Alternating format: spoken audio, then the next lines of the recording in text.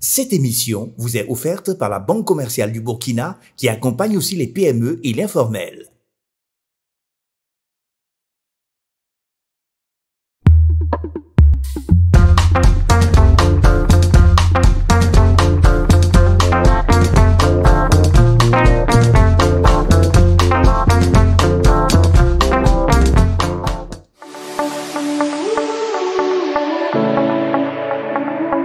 Être à l'écoute du besoin des consommateurs. Être à l'écoute pour anticiper sur les innovations des services. Ce sont les défis de la Banque commerciale du Burkina et sa force réside dans sa capacité d'écoute. Nous sommes proches parce que nous avons développé des enseignes au plus près des clients. Nous misons sur le digital sans déshumaniser nos guichets. Nous sommes sociables parce que nous avons l'expérience nécessaire dans le service bancaire au Burkina et dans l'accompagnement de l'économie nationale et nous sommes toujours proches de nos populations. Nous sommes conquérants parce que nous explorons de nouveaux produits adaptés aux besoins de nos clients. C'est notre responsabilité d'entreprise citoyenne et c'est la fierté de nos équipes. BCB, la banque qui vous comprend. Bonsoir téléspectateurs, bienvenue à votre hebdomadaire préféré Petit Pas Grande Marche. Cette semaine encore, un métier sera mis en lumière, celui du fermier. Nous irons à la rencontre d'un professionnel. Au-delà d'un métier et d'une activité, c'est un passionné de la nature, du bétail et de la volaille que nous rencontrons pour vous. Je ne vous en dis pas plus, ce professionnel s'en charge. Hey. Say. Lobe. Donnez le vent comme sous la piscine, Indira. Chalave. Je suis Gérard en réalité euh, un promoteur d'une ferme avicole et euh, animalière, euh, puisque la ferme est scindée en deux. Au niveau donc euh, de, du côté agricole, nous avons des, des, arbres fruitiers, qui sont entre autres des tangelots, des papayers, des bananiers. Et puis, euh, le côté avicole, nous avons euh, euh, la volaille. Nous produisons ici euh, des œufs et également de, euh, de, de, de poulet de chair, comme on aime appeler de la viande de, de poulet. De fermier, ben, nous avons ici à la ferme Wango des poulets, des porcs, des bœufs, des moutons, des chèvres. On a même quelques oies, on a des dindes, des pintades, et puis enfin euh, les arbres fruitiers que vous pouvez voir donc euh, euh, partout dans la cour.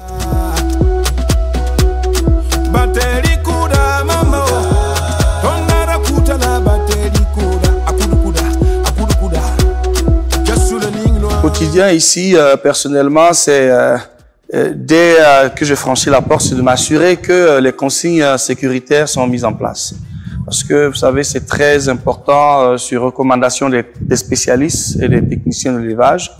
Euh, il est recommandé que euh, la porte d'une ferme soit hermétiquement fermée et ne soit accessible que sur autorisation. Et lorsque vous accédez à la ferme, on, se doit désinfecter les visiteurs. Tout le monde doit se désinfecter pour éviter, bien sûr, d'être porteur de germes qui puissent venir propager, par exemple, des, des souches de maladies au sein de la ferme. Ça, c'est le premier réflexe. Et juste après, ben, je, je porte moi également ma tenue donc euh, euh, d'employé afin de faire le tour et observer que euh, d'abord les arbres sont bien arrosés, que les feuilles des arbres euh, se portent bien et que les, les arbres fruitiers fleurissent bien, qu'on n'ait pas de soucis également d'insecticides, plutôt d'insectes qui nécessitent qu'il y ait des insecticides pour euh, éventuellement veiller au bon état de nos arbres.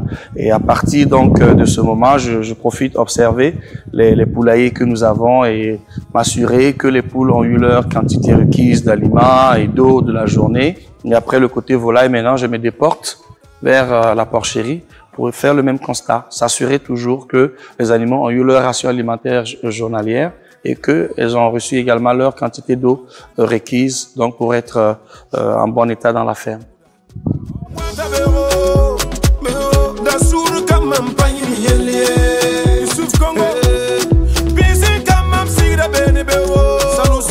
Depuis pratiquement une bonne année, voire un peu plus, euh, les, les, prix des denrées de première nécessité ont, ont flambé. Et à la production, nous, nous sommes allés pratiquement à- au double du prix initial que nous avions euh, euh, il y a maintenant deux ans. Si vous donnez un, un- aliment de qualité à votre poule et, vous, et en quantité suffisante, elle vous donnera des, des, des œufs en quantité et en qualité. Voilà, c'est pareil que pour euh, euh, euh, le bétail. On essaie en tout cas, et sur euh, recommandation toujours de nos vétéri- vétérinaires et techniciens, de leur donner l'aliment euh, de qualité et requis. Donc euh, aujourd'hui, d'aucuns ne comprennent pas pourquoi on, on- on veut bien vendre plus cher euh, euh, euh, le paquet d'œufs ou même le kilo de viande. C'est simplement parce que ben, euh, tout a flambé. Et nous, les producteurs, nous sommes en fait les laissés pour compte parce qu'on n'arrive toujours pas à augmenter les prix de, de nos œufs. Et c'est dommage.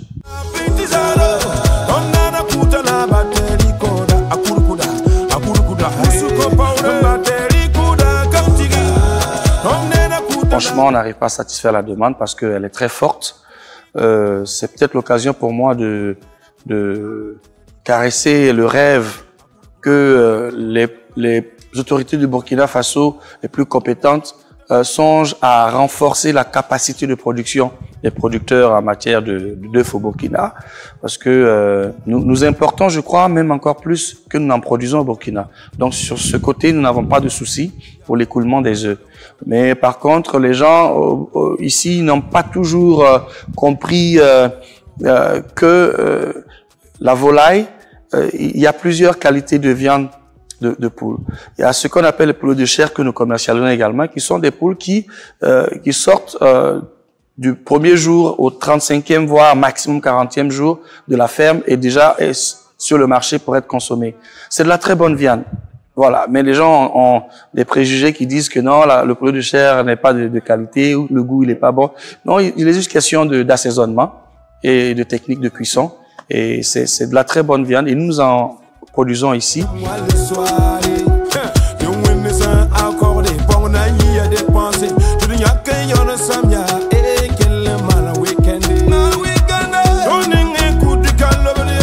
Comme tout autre métier, il faut se former. Et, et la meilleure des formations, à, quand je prends mon cas personnel, c'est de lire beaucoup. Moi, j'ai pas fait d'école euh, de fermier pour en devenir un. J'ai juste eu euh, de la passion euh, euh, de l'élevage que mon père d'ailleurs a eu à faire lorsque nous étions enfants. Et bon, moi j'en fais de, de, de l'élevage plutôt de la production industrielle, donc ça m'amène à, à faire plus d'investissement que quelques poulets que le papa lui l'élevait à la maison. Et pour réussir dans ce métier, il m'a fallu lire beaucoup, approcher les dévanciers, prendre des conseils, écouter beaucoup euh, ceux-là qui sont déjà sur le terrain et qui ont une bonne expérience et qui ont réussi. Il y a déjà des exemples au Burkina Faso avec la ferme à Blaou, dont tout le monde en est fier au Burkina Faso et que l'Afrique de l'Ouest également en parle. Moi, jusqu'aux États-Unis, on cite cette ferme-là comme une référence. Mais on rêve tous un jour de devenir aussi des références dans ce domaine. Et pour ce faire, euh, moi, je, je, je voyage beaucoup et quand j'ai l'occasion d'aller dans un pays quelconque, je vais tout de suite chercher à voir les fermes pour aller euh, regarder, observer, prendre des idées, euh, prendre pourquoi pas euh, euh, des techniques de production pour voir si on peut les adapter chez nous. Et ça fait maintenant cinq ans que nous existons. Euh, je peux dire que nous sommes en train de prendre notre décollage parce que ben, on commence à comprendre un peu mieux le métier.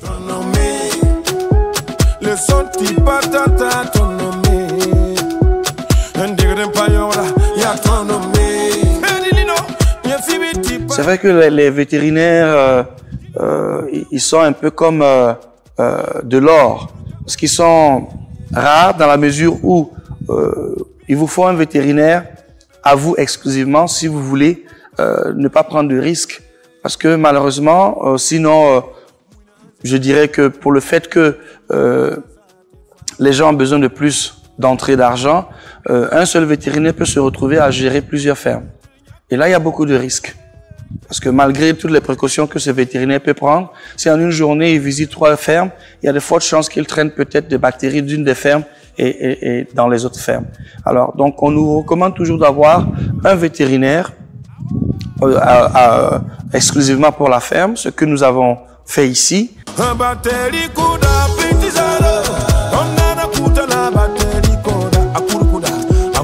En tout cas, franchement, le métier est rentable. quand tu suis les conditions, en tout cas, c'est très rentable. Effectivement, ça me permet de me prendre en charge, c'est un, et puis de m'occuper aussi de ma petite famille. Bien vrai, on trouve que le métier est salissant, mais chez nous, on dit c'est dans la boue, on ramasse de l'or. Voilà. Donc, si nous tous nous sommes impliqués là-dedans, je trouve bien que chacun gagnera son pain.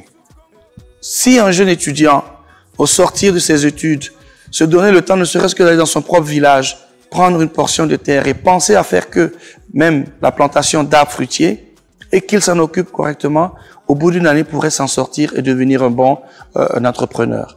Et c'est un rêve, c'est un vœu, mais je pense que c'est des programmes que l'État pourrait mettre en place pour encourager plus les étudiants à aller travailler la terre, à élever des poules, à élever des porcs, des moutons, des bœufs et produire en quantité énorme pour nourrir tous les Burkinabés et avoir même un excès et enfin penser exporter.